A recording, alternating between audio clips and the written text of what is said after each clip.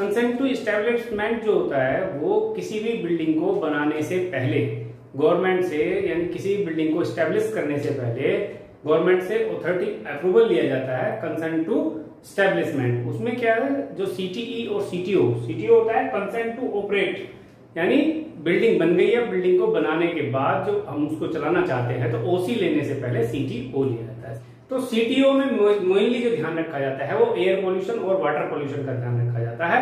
तो आज हम उसी वाटर पोल्यूशन का अभी इसमें नहीं लेते हैं। एयर पोल्यूशन और नॉइस पोल्यूशन उन दोनों की लिमिट गवर्नमेंट ने क्या सेट की हुई है, उसी के बारे में बात करेंगे। और आज मैं वही बताने वाला हूँ कि एयर जो एम्बियंट एयर क्वालिटी है, उसकी लिमिट्स गवर्नमेंट ने कितनी सेट की हुई है और नॉइस की लिमिट कितनी सेट की हुई है। आइए वीडियो को करते हैं स्टार्ट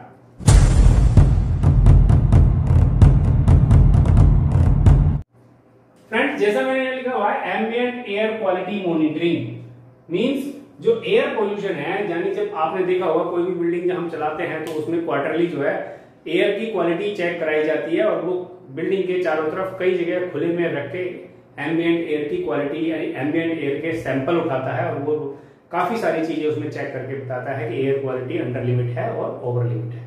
अगर अंडर लिमिट है तो ठीक है, रहने के लिए सही है बिल्डिंग में जो एम्प्लॉय काम कर रहे हैं या जो पर्सन आ रहे हैं क्लाइंट्स आ रहे हैं, उनके लिए ठीक है। और अगर ओवर लिमिट है तो उसको कंट्रोल करने के लिए कुछ ना कुछ हमें करना होता है, चाहे हम एयर प्यूरिफायर लगाएँ और चाहे हम और करें। देखिए फ्रेंड्स इसमें क्या है? बारह पैरामीटर्स आते हैं जो इसमें नेसेसरी है चेक करने।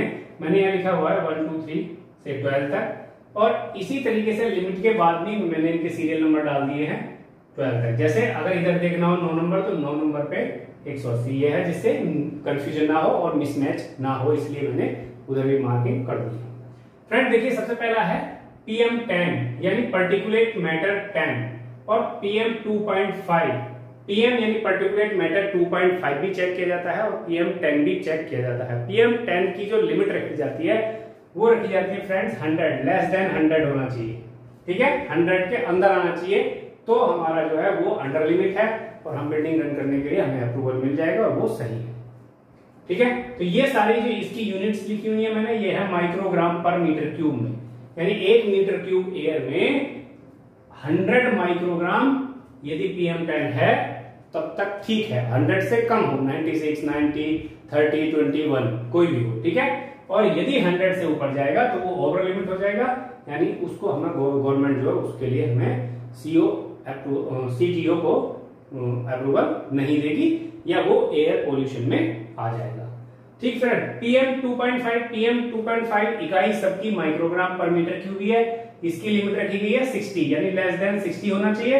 ऐसे ही और जो हम तीसरी चीज़ यूज़ करते हैं चेक करते हैं सल्फ़र डाइऑक्साइड SO2 यानी एयर में जो SO2 की मात्रा है, वो कितनी होनी चाहिए, कितने से ज़्यादा हमें हानिकारक है, कितने से कम हमें ठीक है। तो उसकी लिमिट दी गई है 80 यानी लेस देन 80 होनी चाहिए ओके है। SO2 फिर होता है नंबर चार पे NO2 nitrogen nitrogen dioxide nitrogen dioxide की भी लिमिट 80 से कम होनी चाहिए। फ्रेंड्स इधर भी ये चार नंबर सीरियल पे है और इधर भी चार नंबर सीरियल नंबर है इसका। तो मीस मैंने ये चार चार दोनों साइड इसलिए डाल दिया है जिससे आपको कंफ्यूजन ना हो। अगर इधर देख रहे हो तो सीधा पता चल जाए चार नंबर पे अस्सी है नाइट्रोजन डाइऑक्साइड की लिमिट अस्सी से कम होनी चाहिए। फ्रेंड्स अगला है कार्बन मोनोऑक्साइड कार्बन मोनोऑक्साइड एक जहरीली गैस होती है और वो नुकसानदायक है। ऐसे ही एसओ भी हमारे लिए हानिकारक है। तो जितने भी हानिकारक गैसेस हैं, उनको ही हम चेक करते हैं इसमें। तो CO carbon monoxide carbon monoxide की लिमिट चार से कम होनी चाहिए। ठीक है? ये चालीस नहीं है फ्रेंड्स चार है। 4.0 4.0 से कम होनी चाहिए। लेड पीबी पीबी हमने देखा था, लेड स्टैक मॉनिटरिंग में ये 10 से कम होना चाहिए, लेकिन इसमें जो एम्बियंट एयर है, उसमें एक से कम होना चाहिए। वन माइक्रोग्राम पर मीटर क्यूब यानी एक मीटर क्यूब की एयर में एक से कम होना चाहिए, एक से ज़्यादा नहीं। ठीक है फिर? फ्रेंड्स एक से कम होना चाहिए। निकिल निकिल भी हानिकारक है निकिल आर्सेनिक, ये दोनों जहरीले होते हैं फ्रेंड्स निकिल की जो लिमिट दी है वो 20 से कम आर्सेनिक यानी एस से डिनोट करते हैं, आर्सेनिक जो है ज़ीरो छह, यानी छह से कम होना चाहिए फ्रेंड्स छह से ज़्यादा ना हो, छह तक है तो ठीक है अप टू सिक्स ओके ऐसे ही नौ नंबर है ओजोन तो उसकी लिमिट जो है वो 180 से कम होनी चाहिए फ्रेंड्स अमोनिया अमोनिया की लिमिट जो दी है 400 से कम होनी चाहिए एम्बियंट एयर में, जहाँ पे ह्यूमन बीइंग रहता है। और 11 नंबर है बेंजीन बेंजीन की जो मात्रा है, वो 5 से कम होनी चाहिए। और ये लास्ट चीज़ चेक करते हैं twelve number friends benzo pyrene particulate phase only benzo pyrene particulate phase only और ये जो है वो एक से कम होना चाहिए। किससे? एक से कम होना चाहिए। तो फ्रेंड्स ये 12 पैरामीटर्स चेक किए जाते हैं। 12 पैरामीटर्स में नॉर्मली सब वही हैं, जैसे PM ten PM two point five carbon monoxide SO two nitrogen dioxide और ozone arsenic, nickel, NS three C, benzene. तो फ्रेंड जितनी भी हानिकारक गैसें होती हैं जो हमें ह्यूमन बींग को या जो भी ऑक्सीजन ग्रहण करता है, उसको नुकसानदायी होती है तो वो चीज़ें ही हम इसमें चेक करते हैं। तो उनकी ये लिमिट्स है। आप इसका स्क्रीनशॉट लेकर भी रख सकते हैं, जिससे कभी भी आपको कुछ ऐसा पूछा जाता है तो आप बता सके। फ्रेंड जब कभी भी इंटरव्यू में क्वेश्चन किया जाता है तो ज़रूरी नहीं आप ये बारह पैरामीटर एक साथ बता पाओ। जब भी कभी पूछा जाएगा तो एम्बियंट एयर का ये पूछते हैं कि एम्बियंट एयर क्वालिटी आप कितने दिन में चेक कराते हो? तो आप बोलो क्वार्टरली यानी तीन महीने में एक बार हम चेक कराते हैं और उसके पैरामीटर कौन कौन से पैरामीटर उसमें चेक करा दे तो आपको ज़रूरी नहीं बारह बता दो। अगर आप पाँच, छह, सात भी बता गए तो इंटरव्यू जान जाएगा कि ये चेक कराते हैं और इनको मैक्सिमम पता है। फ्रेंड्स इसके साथ साथ एम्बियंट एयर में एम्बियंट नॉइस यानी जो साउंड लेवल है कि कितनी आवाज़ होनी चाहिए जहाँ हम काम कर रहे हैं, उसको भी चेक किया जाता है और वो भी जो है नॉइस पॉल्यूशन के अंतर्गत आता है उसकी लिमिट भी हम इसी के साथ साथ देख लेते हैं। तो फ्रेंड्स एम्बियंट नॉइस पॉल्यूशन तीन जगह चेक किया जाता है। तो कॉमर्शियल बिल्डिंग में रेजिडेंशियल बिल्डिंग में और इंडस्ट्रीज़ में और साइलेंस जोन में। चार चीज़ें ही मोस्ट प्रोबली चेक की जाती हैं।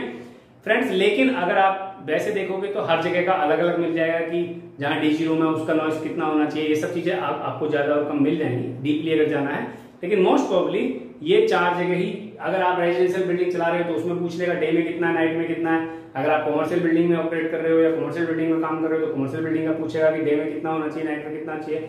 ऐसे ही इंडस्ट्री में भी और साइलेंस जोन में भी। तो फ्रेंड्स मैंने इसमें चारों चीज़ें मानसन की हैं। एक, दो, तीन और चार। देखिए कॉमर्शियल बिल्डिंग है अगर आपकी तो उसके डे में कितना होना चाहिए? डे की अगर मैं बात करूँ तो 65 डीबी अगर डे में है 65 से कम तो ओके है।